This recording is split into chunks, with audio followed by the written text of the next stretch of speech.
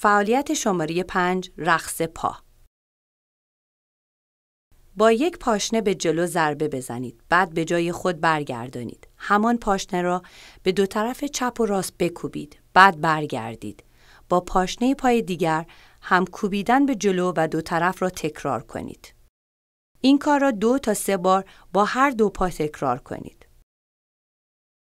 بعد یک بار با یک پاشنه و یک بار هم با پاشنه دیگر ضربه بزنید. این کار را دو تا سه بار دیگر ادامه دهید.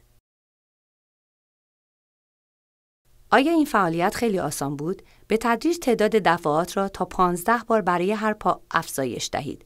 همزمان با کوبیدن پاشنه ها یک دست را بالا نگه دارید. هر دو دست را بالا نگه دارید و پاشنه بکوبید.